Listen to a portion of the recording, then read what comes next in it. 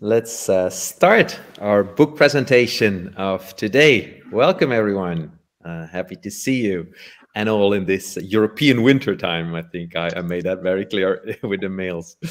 Uh, this day, today, we will focus on a fascinating book games and visual culture in the Middle Ages and the Renaissance, edited by Vanina Kopp and Elizabeth Lapina and published by Brepols. Our referent today is my close colleague, Sybille Lammes, specialist in contemporary gaming and play studies. And I will tell you more about her uh, when I introduce her.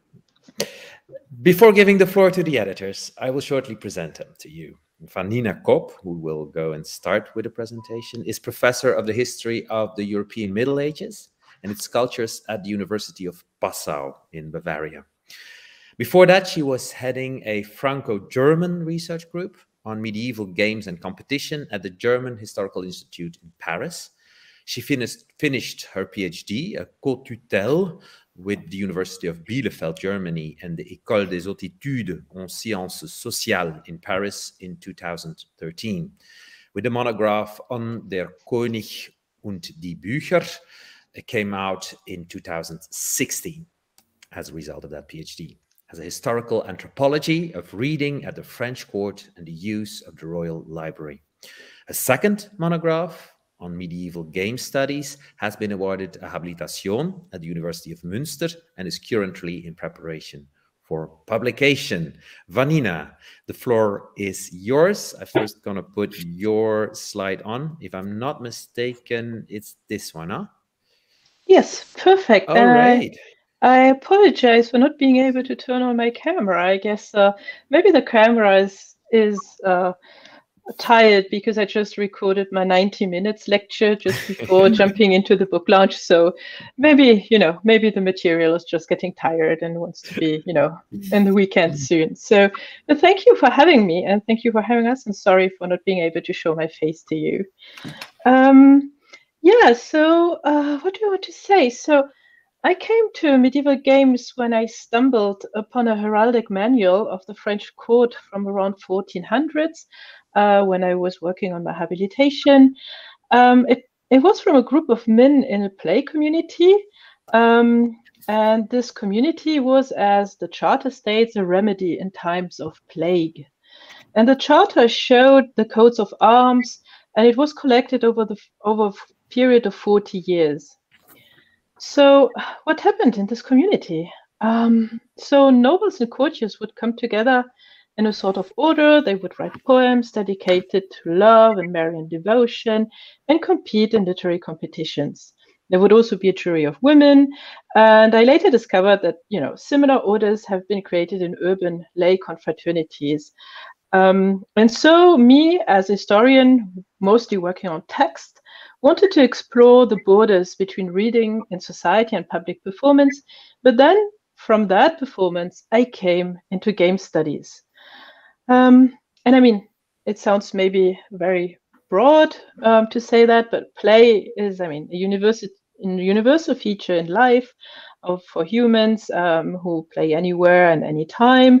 And play seems to comprise a fundamental part of every culture whether manifested in religious contexts or in simple pastimes, transformed into games with regular rules. And in present day westernized societies, play is considered part of carefree time, leisure time, and mostly entertainment. And in the pre modern Western world, however, uh, play lay at the core of more complex, profound activities and the ludic provided an essential vector of religious, social, and cultural communication. It thus structured life and the interaction um, of people uh, in medieval societies. It enabled the processing of the sacred, and it offered a serious means to manifest social prestige and political practices. Um, so, uh, the late Middle Ages mostly witnessed a sportification um, in in times of peace. So um, the games that probably come to your mind are immediately ball uh, sports uh, with balls like football or tennis, archery, horse racing, tournaments, jousting, and also theatrical carnivalesque shows. And such competitions allow participants to live out agonistic tendencies and to display status and prestige, and they also foster so so social groups and group coherence. Um, so, in for the studies of the medieval uh, period, game studies along these lines have ascended into recent historiography, though of course they have a longer scholarly tradition, um, because I mean obviously several disciplines have conceptualized games and play in sociological, anthropological, and historical ways. And I mean, the canonical definition of games um, has been laid out by Johan Huizinga in um, his book Homo Ludens, a study of the play element in culture, which, of course, I'm sorry, I can't uh, pronounce um, in Flemish. Um, and uh, this was a seminal contribution to both game and medieval studies. Um, and the flamboyant rhetoric and the clear narrative of Huizinga's Homo Ludens still confer uh, a special place uh, to it in game studies. Um, back in the 80s, uh, well, we have we have another development of games, especially on the specific pastimes, festivities, the tournaments, jousting, um, and this helped to yeah, to analyze urban and courtly context, and this wave of research in the recent years helped to establish games and the institutionalized forms as important academic topics. And uh, the renewal of um, the themes that I've already mentioned before um, have now been analyzed under um, the focus of animal studies um, or other turns in cultural history. And they have helped to analyze Ludic's forms um, anew, especially the physical games, but also children's games, and have encouraged a discussion of games in relations to new um, to new spaces such as monasteries or to cultural practices such as folklore. and this is where I want to come to uh, the image that I'm showing on the slide, which is also um, the on the cover of our book um, and also a little bit, yeah, contour why why we chose this. Um, I mean, obviously, uh, it's a scene set in the princely court, where play and leisure provided major components of the aristocratic lifestyle. Um, not only did the nobility define itself through its um, sometimes exclusive prerogatives, such as hunting as falconry, which is exclusively uh, aristocratic, not uh, jousting, for example. Jousting could be totally urban and non-noble. Um, the courtly sphere also practiced an, ex uh, an, extremely high refinement in its leisure activities and is shown, um, yeah, as, as it is, for, for example, shown around chess, which is here at the core of this image, um, chess being the noble strategic game per excellence. And chess and if we widen this up to the tabletop games, brings us closer to the field we, Elizabeth and I, wanted to explore with this volume on games and visual culture. Um, the ability to play chess uh, was one of the identifying markers of aristocrats, and it recalls comparison between the tabletop game and combat. Um, the specificity is that it's without any physical effort or violence. So it's kind of also sublimating, um, uh, yeah, the violent agonistic society in which people evolve. The presence of the women in this scene, um, not only in this image, but also in a lot of descriptions of courtly scenes, uh, brings a further assortment of associations having to do with chess and tabletop games, um, the game, for example, Game of Loves, conversational games, which confer or convey norms of comportment in relations between the genders, but also between all members of the courtly society.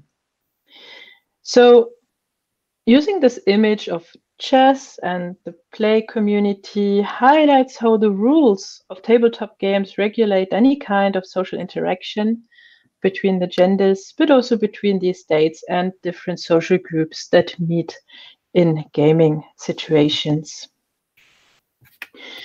So um, the study, or well, the scope of the books, accordingly um, differentiates the social aims and functions of various tabletop men that men and women could play together, but also different, you know, people coming from different parts of the society.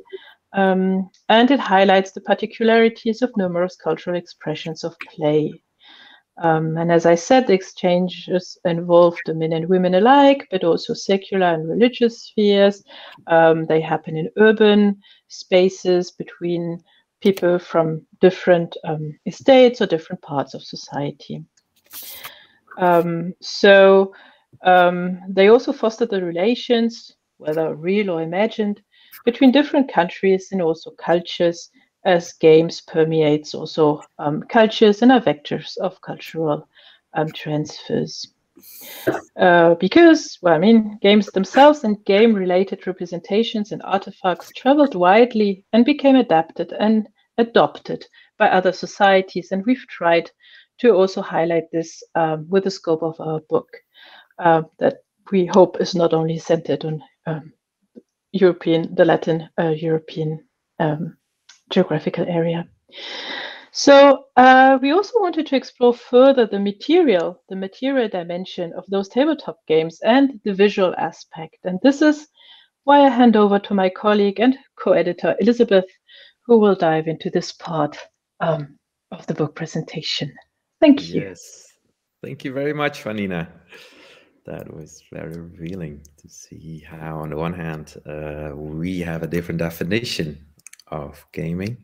And that's why I'm also looking forward to uh, the presentation or the response of uh, Sybille regarding that. But first, let me introduce uh, uh, Elizabeth to you. Sorry, Elizabeth Lapina is an historian of the Middle Ages with a research focus on the history of the Crusades which is rather surprising when you're now dealing with games. In her first monograph, uh, Warfare and the Miraculous, Penn State 2015, she examines several chronicles of the First Crusade to uncover the existence of sophisticated and often conflicting interpretations of the event.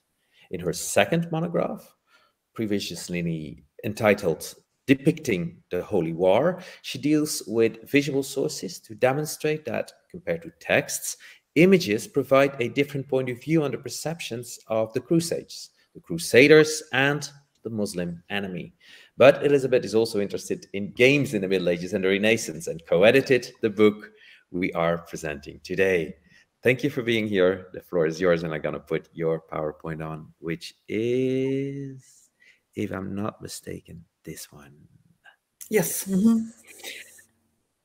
uh, thank you very much, uh, Stijn and Sybille, for inviting us and for organizing this.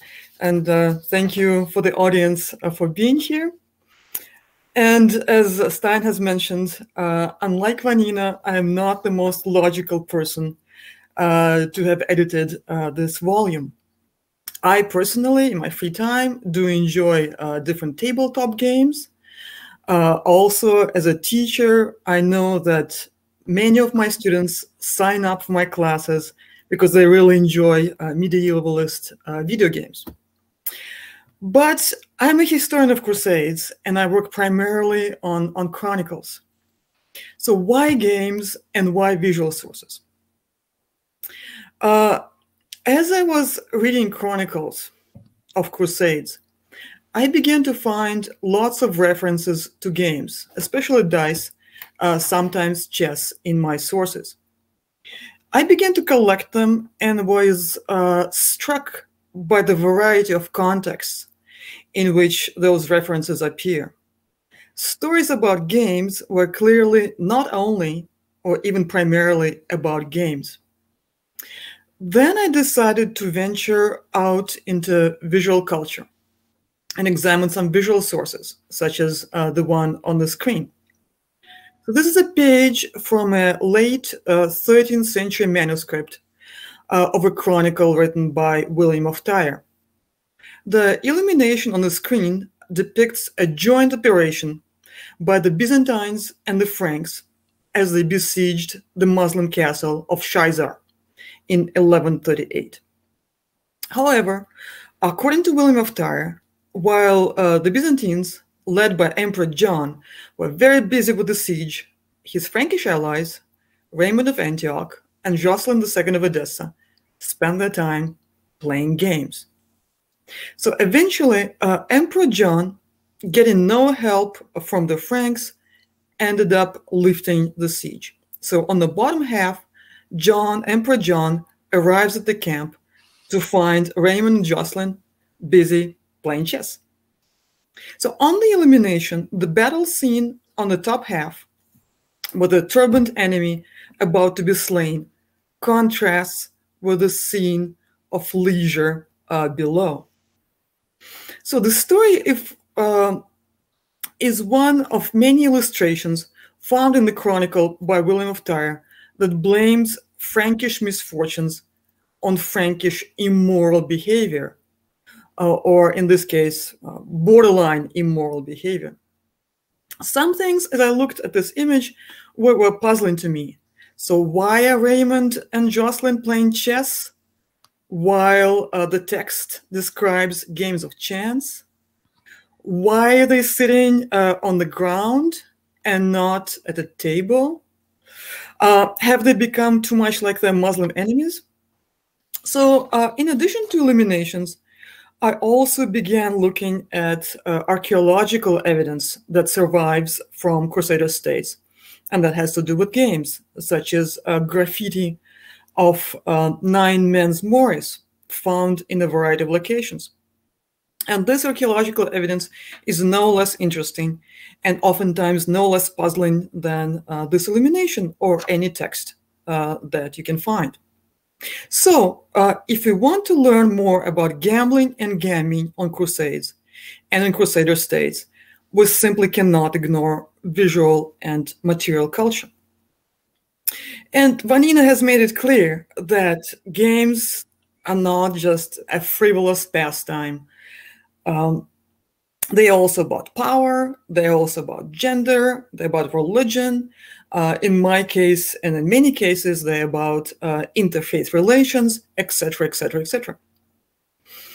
So, for example, learning about gaming and gambling in Crusader states tells us quite a lot about not just daily life, but also about, once again, interfaith relations uh, on all levels, from ordinary, in quotation marks, uh, marks people to kings and emirs and diplomatic relations, and also about um, medieval perceptions of crusades and explanations of the successes and failures. So the best, uh, I wanted to find out if our colleagues across the disciplines are also finding out not only that games are important, but also if um, they're also trying to study uh, the entire range of sources, uh, including visual and material sources that allow us to learn about games. And the best way to learn about something, I, I find, is to edit a volume. So here's uh, here's here's the volume, and uh, I found it really interesting that two of the articles uh, in the volume have been co-edited, uh, have been co-written by uh, art historians, um, uh, archaeologists, uh, and specialists in literary sources. And other articles have been written by art historians, historians, and archaeologists who often ventured beyond the confines of their disciplines to incorporate both texts, um, images, and, and artifacts as well in the attempts to learn more about games. So we're not the first ones, and I hope we will not be uh, the last ones uh, to challenge this wall dividing uh, our uh, our disciplines. Uh, also, what uh, is interesting about games, which is something that Vanina has mentioned, is that they're both universal. Everybody plays games, but also at the same time that the details of how the games are played and how this play is represented is very specific to a time and a location. So another wall uh, that we try to contribute to breaking down, once again, we're not the first ones and we will not be the last ones, um, is the wall separating studies of Western and uh, non-Western games. we have incorporated two articles dealing with uh, Turkey and beyond. And this is not just not tokenism. I do believe that games uh, are a particular fitting field um, for for global studies, and I do hope in the future to see more studies going in that in that direction. So I hope I hope um, as an outsider uh, to to games, I hope uh, this volume serves as an encouragement for scholars like myself, regarding regardless of the primary uh, specialization, uh, the primary field, to take games seriously. I also hope that scholars like myself, who are not art historians or uh, archaeologists, uh, do take uh, images and and objects um, seriously. So thank you, thank you for for your attention. Thank you very much, uh, Elizabeth, for this uh, this presentation. Uh, maybe in the Q&A we can go a bit further on all the contributions and what they exactly do. For example, I am really interested in the whole graffiti, but mm -hmm. that can be for uh, for the Q&A.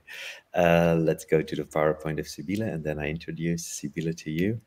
Uh, Sybille Lammes is full professor in new media and digital culture at Leiden University. She has been a visiting senior research fellow at the University of Manchester and has worked as a researcher at the Center for Interdisciplinary Methodologies at the University of Warwick, as well as the Media Study departments of Utrecht University and the University of Amsterdam. Her background is in media studies and game studies, which she has always approached from an interdisciplinary angle, including cultural studies, science and technology studies, post-colonial studies, and critical geography. She is co-editor of Playful Identities 2015, Mapping Time 2017, the Routledge Handbook of Interdisciplinary Research Methods 2018, and The Playful Citizen 2017. She is an ERC laureate and has been the PI of numerous research projects. She is member of the Playful Mapping Collective. Sybille, thank you so much for uh, accepting our invitation to be the referent of this book. The floor is yours. Thank you, Stijn. Please, I didn't time my uh, presentation, so tell me when I'm going over time and I'll wrap it up. All right, um, I find it, uh, thank you so much for inviting me. I find it a real honor to uh, be part of this. I am, I think it's a fantastic edited volume. I wanted to say to Elizabeth and Vanina for someone who is actually not from this, you know, I'm a contemporary scholar on the whole. Um, it's very, uh, very interesting to read this, and I think um, makes me very enthusiastic as well to think further, as I will also show in this presentation, about how you can think about play in different contexts. So I quickly thought about a title, Past Playgrounds, Present Playgrounds, and uh, as a background, I have a background. Um, I, I, wrote a lot about games, but also about post-colonialism and games. Mm. I wrote about uh, urban playgrounds, about play and boredom and confinement. And in those uh, discussions, I always also had a keen eye for the historical part of uh, playing and not only games. As you say in your introduction as well, that difference is not always very clear, right, between play and games, depending also on the language you speak. And Huizinga, of course, spoke Dutch, and spel is the word we have for both in Dutch. Um, in this um, presentation, I, I, would like to give the people already a bit of food for thought and discussion. And I want to um, talk about games as playgrounds in a way and how I always have been uh, approaching that um, and how I actually, to make it more precise, have always struggled and loved the work of Huizinga when it's about the magic circle. And um, I have been doing work on how set are those borders, how soft can they be, and um, also on how um, there can be a tension between the hardness of the magic circle, like for example, also in religious uh, uh, uh, um, um, rituals, you could say, and the freedom play uh, gives you, as Huizinga famously said, it's always voluntary. So that's also a thing when you get sort of confined in a circle. How voluntary is it? Um, so there is this sort of um, tension there between freedom of play and set borders in daily life, but specific, specifically in games and play. And I started, and there I come more towards the history part. I started to, I see one of my pictures doesn't show, but I started also in my work about urban playgrounds, I started to get interested in the history of playgrounds. And I started, as you already also did in your presentation, to be very interested in when did playgrounds become more demarcated, right? Is that a historical thing? Of course it is. But how and when? And of course, in a way, that whole idea of the magic circle relates to a moment in history, namely the uh, the, the, the early uh, 20th century, in which uh, we were in a modernist time when things started to become more de demarcated. So binaries were constructed. This also very much relates to the work of Foucault, right? That you oversee a playground and can see what people are doing. And um, yeah, so uh, it, the, the, there are these binaries which maybe, and that's for, very interesting for me to learn more about also through that this book, between work and leisure, for example, uh, with the indust industrial age, between child and adult, something you touch upon as well in your book, between public and private, between nature and culture as well, and mm-hmm. also, of course, not to forget the uh, the, the, the, sort of uh, uh, yeah the, the, the opposition between the urban and the rural. So I started to get interested. Was that the only playground there is? And of course, it is, and there always have been playgrounds which are are more liminal spaces. You know, a term from anthropology in which you, you, there's far more a sort of in between state which is neither in or outside the uh, magic circle so to speak. And in contemporary culture there are a lot of examples of that. Here i have a couple of them. Soldiers i think they're playing chess actually. Uh, in, in, in you know during or waiting for a war to start or a, or a battle to start again.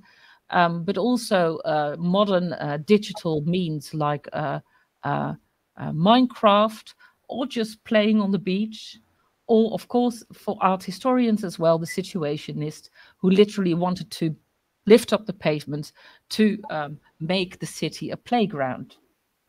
And then I started to wonder, um, is that something which is only uh, from this time, or is that also something we could sort of see change over time? So, um, in a way, um, these makeshift playgrounds and these soft borders, how does that? How can you um, situate that historically? That we can see that we always have had that. Some of our childhood memories are precisely about those makeshift playgrounds. Uh, but my question really is, and that may be also something maybe for the discussion, those playgrounds have always existed were they that del delineated as they became in the 20th century, or were they maybe less demarcated in the past? And I try to find an answer to that, but uh, as I already indicated, I'm not a historian, so I sort of uh, miss the miss the tools to to find that. Um, there are things I was thinking about, which I would like to discuss with you as well. Like, for example, the the the, the playing cards I, I show in the left uh, corner of this uh, uh, slide um, were of course also used to play with, but also for for seeing fortune telling, right? So tarot cards and play cards were basically the same thing. I also put a photograph, uh, a painting, people playing at a table. That table is to drink from, right? It's literally a tabletop, but that shifts into something you can play a game on. And of course, we all remember those tables as well, which are inlaid to play games at the same time as maybe having a drink. So that's also, although it's smaller, that's also a playground with a shifting function. And then, of course, squares, which could one time be used for a theatrical uh, spectacle, but and the, on the, on the uh, at other moments could have another, actually also another playful uh, function to stay close to uh, what Stijn, for example, wrote about. about um, how uh, play is also theater, of course, uh, in public spaces.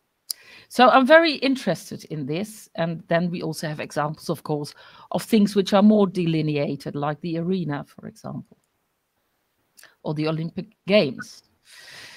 Now, there's one project which I think links very well to uh, what you have just been presented and what the book is about, but approaches this from a, a, slightly different angle. And that is the project I'm at the moment conducting with my close uh, colleagues Angus Mol and Aris Politopoulos. And that's the Past at Play Lab. And here we really try to develop methods to look at history and games. And I wanted to uh, show a bit about, I wanted to tell you a tiny bit about a project. And through that, maybe think about how can we move this field forward of understanding games also in a material, material sense that were uh, that from the past, basically. So what we do um, in this, um, and I think I have the wrong slides here, but it doesn't matter that much. Maybe you could take just the, the could you take it down, the slides, please, uh, Stijn? Um, thank you. So what we do in this project is we um, do two things. We start from the same thing as you do in the book, like play is culture. So play is also historical, right? And is history. And in this lab, uh, we ask people uh, two things. And we're in the first stage, also because of Corona, a bit uh, delayed. Um, that we ask uh, people to play old games. And we record that, and we have interviews with people, and we have surveys, uh, and we ask them to play the game of Ur and Senet and look at how they actually deal with the rules of those games. So instead of also having visual clues like you, Elizabeth, talked about, uh, Aris, by the way, is an archaeologist as well. Um, and we actually now use 3D uh, printers to reprint those games. But eventually, we would also like to uh, recreate those games with the original materials with participants to see what the materiality of those games are. And we also ask uh, the participant questions like where do you think this game would be played? Would it be in a church? Would it be on a market? Would it be by soldiers, etc.? Do you think it's important to win this game, etc.? We know that games were played differently because often when you lost, you kept playing a game, for example. Um, so it's it's very interesting to do that through experimental uh, uh, playing again a game, basically. So that's one part of the project, um, which is already yielding quite interesting results, despite the lack of participants because of Corona. And the other side is that we also want to play with, uh, want to study people playing contemporary computer games where history plays an important part, mm-hmm. and ask them how do uh, how do you um, uh, experience history through these games. So we're still in the middle of this project, and it's a relatively small project financially, but we have a lot of we invest a lot in it ourselves, so to speak.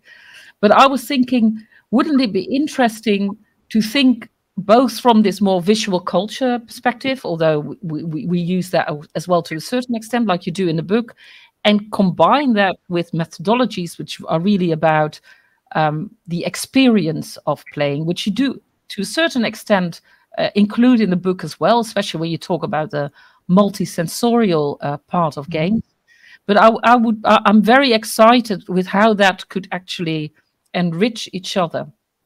So um, thank you very much for the book. Um, I, am I'm, I'm, I'm very, very, uh, I find it very inspiring also how it's sometimes actually still the same now or sometimes different because I, I'm sorry, Vanina, but I don't think that games are less complex now than they were then. they have a different cultural function. Mm. Um, so it's very interesting for me as someone ma mainly, but not only, as I just showed, looking at games from a contemporary perspective to see how that compares and how you could work with that. Mm -hmm. So that's what I wanted to say. And then I think, I hope you get yes. interesting questions yeah sure. Interesting. Very interesting. Maybe i better let react uh, elizabeth and vanina on your uh, input and then uh, go to the q&a of the the people present. So so elizabeth or vanina? Well, I could say something about the historical developments of games and of malls and of spaces. Um, I would yes please. I would maybe start with that. Um, great I mean, there is there is of course um, research about how games develop because I mean also the Middle Ages is not homogeneous, and of course there are games that have been inherited from antiquity. Although, um, I mean the games um, um, left in a way the the, the very regulated um, uh, cité um, of of antiquity uh, and became more it invested more spaces uh, in in towns or outside um, and it became more ubiquitous and more entangled in every part of society and not very delimited in times and spaces. Um, this is something that we like this is very broad what i'm saying. Uh, we really uh, realize or we really see um, as, uh, as um, a shift around 1500s with a codification of the rules also in written forms with the establishing of spaces and also times for games.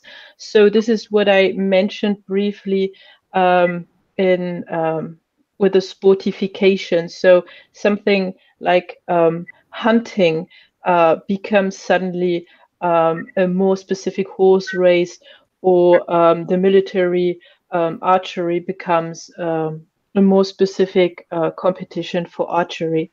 And um, this is also the time when malls developed. So spaces mostly outside of the city, also for security reasons, um, to uh, limit um, these games and also maybe to control these games for the municipality or for the worldly as well as clerical authorities um, to yeah to to create spaces and times and regulate um, games.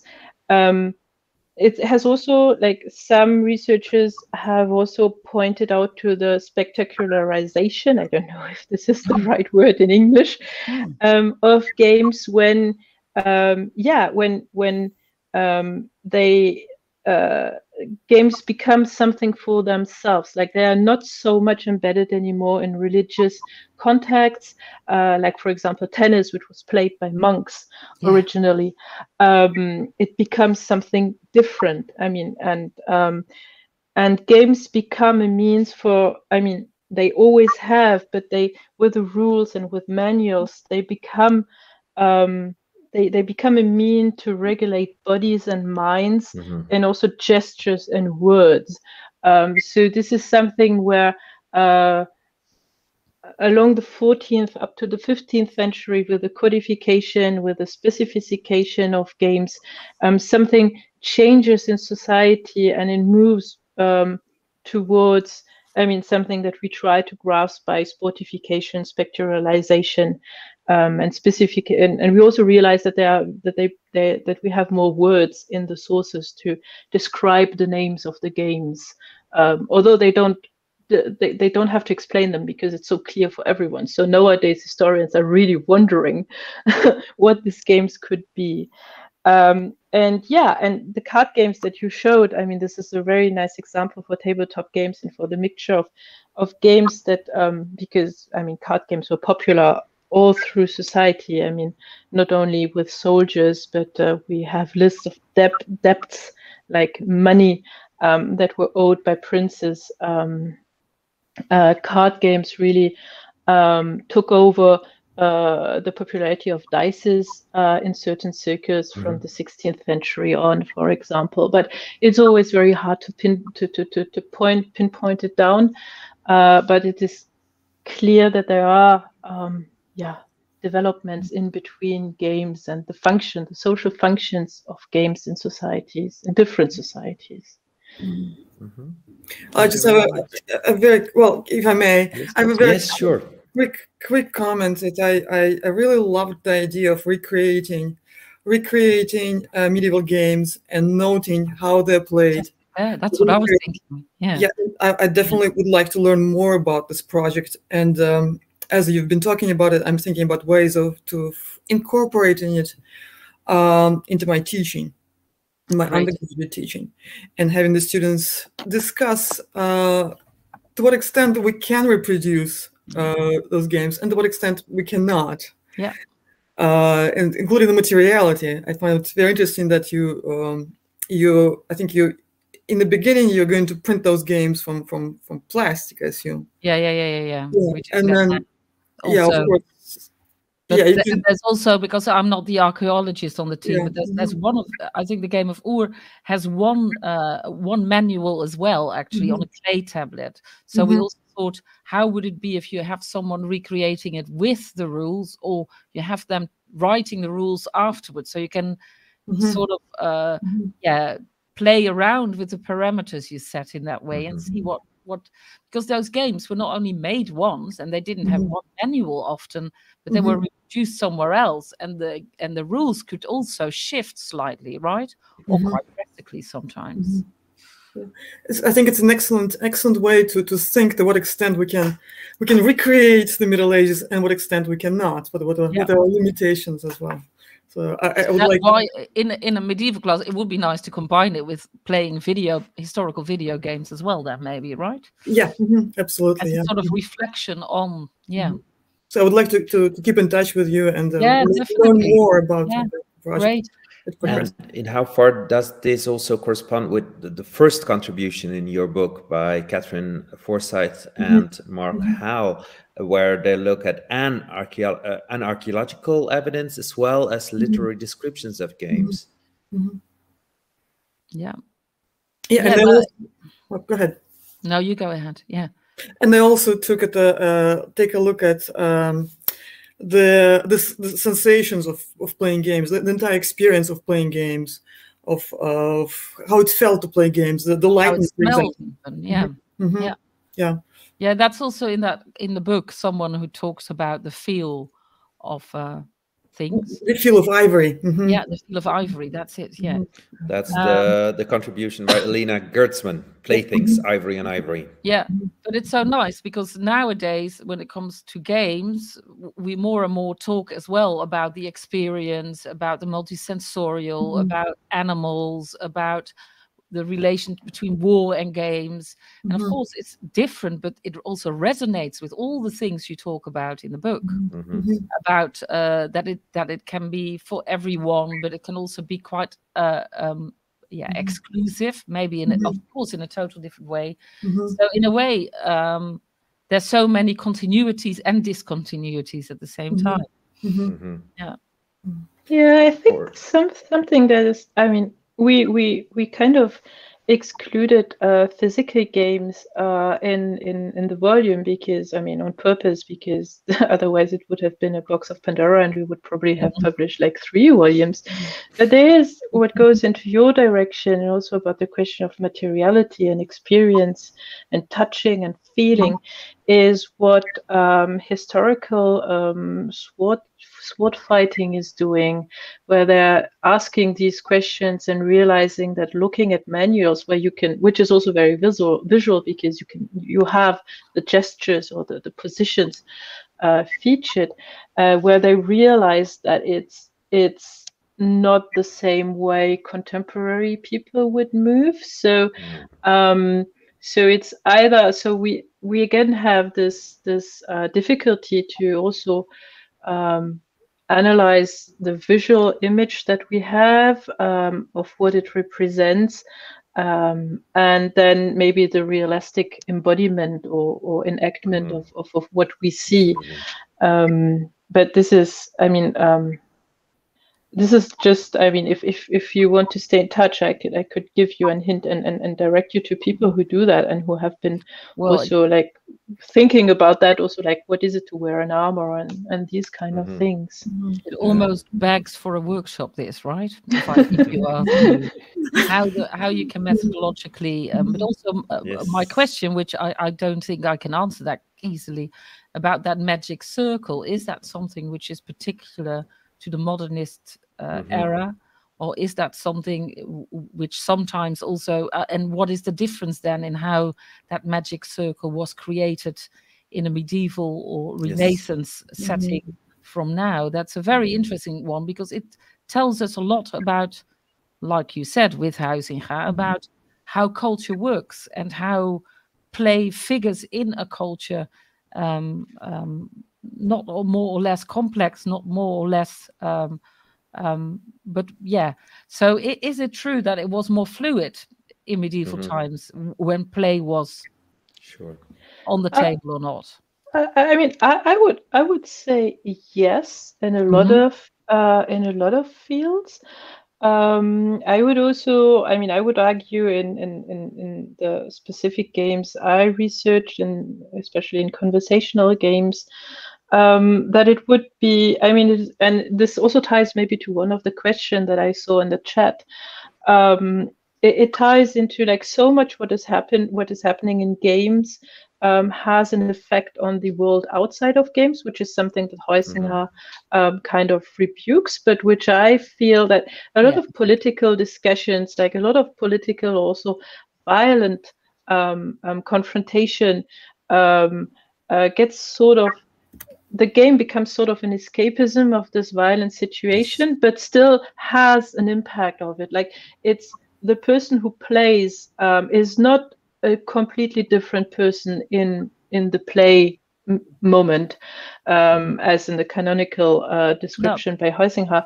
So um, I would I would honestly like before the 15th like before the 16th centuries uh, I, I would I would actually plead for a more fluid um, and less demarcated and less magical circled. Still magical but not circled. Yeah, yeah. Oh, that was the feeling i had but I, I i couldn't put my finger on it. But mm-hmm. of course when it's a religious thing it becomes quite closed in a way but even then it depends yeah, especially where. liturgy yeah or games yeah. that were played in liturgy i mean there has been there has been a lot of research done on yeah on on, on playing monks and about the incorporation of mm-hmm. ludic elements into religious aspects um sure. so but maybe another person might give you a completely different answer because they are examining other games so yeah or other um, cultures right yes i yeah. think we cannot mm-hmm. generalize on that no, yeah no, surely not let's go to the questions in the in the chat. So the first question was about the monkey and there was already some some some some uh, answer by you vanina. But but you can every one of you you can when you put on the plus you can really zoom on the picture so then you see indeed that monkey with a strange uh, roll, kind of indeed uh, something to put the grass more, more, more at order in order to play. But what does this monkey has to do in this whole picture mm. of of the play in the game? How how does it work? Also with playground, because who's playing and where is he or she playing, and no. things like that. So mm. so it's mm. indeed a very interesting question. Uh, what does the monkey do there? He's so obviously there. Mm-hmm. Well, I, am not sure about the monkey, but what I found fascinating in many of the uh, articles is that uh, images are not just flat images you see on the screen, but uh, looking at them, you also often engage in in play, um, which is especially obvious with the, with the misericords uh, where you lift you lift the or you you lift the the seat and you see some sort of a scene there. So you you're engaged in in in play with an image representing often play. Mm-hmm. Uh, so this is something to ask even even of, of manuscripts. What game are you playing? What game was a medieval reader of a manuscript was was playing yeah, sure. while sure, looking sure. at this at this um, representation of play? And so this monkey could be also that kind of device in order to invite you to think about yourself as a reader of a manuscript, or mm, maybe. there are so many monkeys in medieval manuscripts That's of that right. period. So this is also, I mean, I'm I'm I, am i am the text person, so maybe I'm completely wrong, but um, I also see it as a sign of the exclusivity of this aristocratic circle um, mm. that you know that is gathering in lavish uh, lavish clothes and has also a jester uh, next to them, and they are sitting in a castle, and they have glass windows. So Mhm. um, I feel like the monkey also enhances this part of being a society that is, you know, worldly and mundane and um, Mhm. Isn't the monkey playing as well? No, he has him. He's like doing the grass or something. The idea it's is the- that monkeys are Mm. playing, right? mowing. Yeah, yeah, it, it should be. Yeah. Mhm. All right, let's go to the question by Larry. Larry Silver. So many Netherlandish images, paintings, as well as prints show men versus women. So that's the gender aspect at chess or card games, as if a battle of the sexes, which differs from the courtly and aristocratic aspects Mhm. of the tabletops games. So, in how far can you say something about those more, more or less 17th century rep, uh, representations of games as a battle between the sexes, and in how far does that contrast with the image we just saw, where uh, men and women are playing together? Um, well, I can try to start answering from my perspective as someone who works on tax and who sees that a lot of game situation and chess is always the game that is chosen to depict an aristocratic circle. Um, they, yeah, they they are just they are one means to show the antagonistic and uh, the power shifting and the, the the competitive, also social competitive um, aspect of a situation. Um, so um, if you have an aristocratic circle and especially um, a couple um, who would play and who would meet via play or who would, you know, um, uh, discuss in a way the relationship via, via play, like who who is winning, who is losing. Um, uh, this is something that happens a lot in these courtly romances, uh, the Roman d'Alexandre, for example, which was on the image, but also in, in the Vœux du Paon. Um, it is uh, you you bring antagonists on on a chess table um, instead, you know, of giving them a sword, and especially when it's uh, men and women involved, because the chess or the tabletop uh, uh, game is one of the one of the games where they can actually play on, on equal, um, where they can participate both. Um, so I, from my from from the perspective of someone who works with these texts, I would say uh, to also really look at, at, at the textual situation where this chess uh, situation between men and women is placed, because most of the time we can like it, there, there is a connection uh, between this and be, be, between the protagonists and because what is developed in the courtly romance. Um, yeah. I, I think we would would have to look at the specific specific uh, pictures to be able to answer this this question fully because uh, similarity in in form, a man and a woman playing doesn't mean there's a continuity or similarity to, to Mhm. another image. And with men and women playing, it's it's fascinating because it's not it's not as easy as battle of the sexes because often oftentimes for example losing actually means winning so losing and winning especially in a game between different genders it's all it's all upside down it's all very different Mhm. and it's very complicated not necessarily only between men and women but especially with men and women what it means to lose and what it means to win it's very different from what we would Interesting. expect Yes. Yes, indeed. I I hope that answers your question, uh, Larry. Uh, last question, maybe a bit outside of the time period, Jeff Crouch says, but what do you think of the list of games and the like in the work of Rabelais and the Mhm. related analysis of Bakhtin? that's for vanina yeah, uh, I mean, uh, this list of games in Rabelais has is like so popular, and it's like it pops up everywhere because, I mean, and this ties back to what also uh, said. It is one of the first lists that we have of games that are named.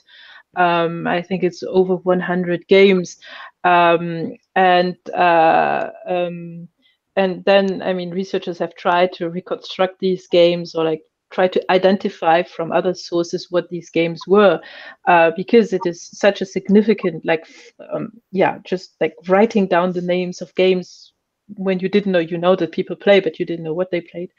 And then um, Bakhtin is also very it is a fascinating read also in a historiographical um, uh, perspective because um, and it, it's it has been challenged recently um, because um, like there's this very hard distinction that Bakhtin made between folklore and like aristocratic games and um, uh, has been challenged recently to like this more fluid um, and ubiquitous uh, perspective on games uh, in medieval societies and uh, not being so harsh on on delimit- delimiting certain games to certain uh, social groups.